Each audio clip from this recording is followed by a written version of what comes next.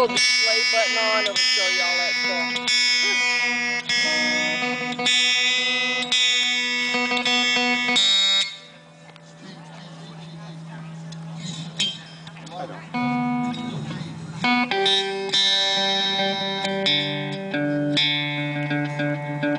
All